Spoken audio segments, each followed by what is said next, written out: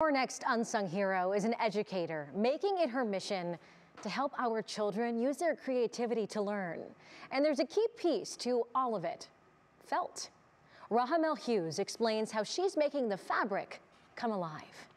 That's kind of like a, MO of mine. I have nothing and I come up with something. And Rahamel Hughes continues to do that with a fun felt experience through her program Felt Smart. It started in 2009. Hughes had a desire to help children learn. She had a dream. Find a medium, change the world. And the idea of felt just felt right. I'm able to manipulate it in so much a way that it looks expensive, and I'm able to create costumes and educational materials, and the kids can, can create with it. And she created workshops serving local schools, daycares, community centers, and churches.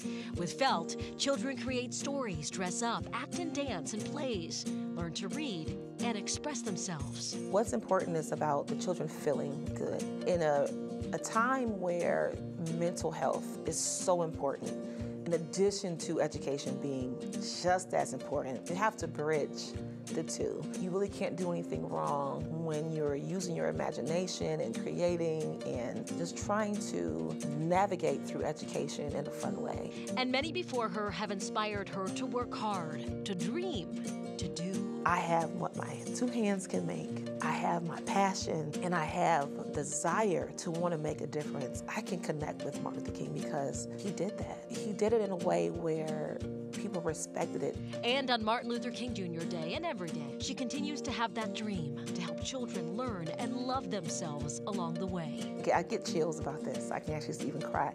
I definitely feel like this is my purpose. She's awesome.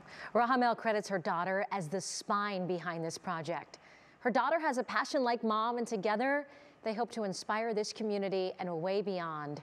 Her goal is to put on large plays with children using felt, and we know she will surely get there.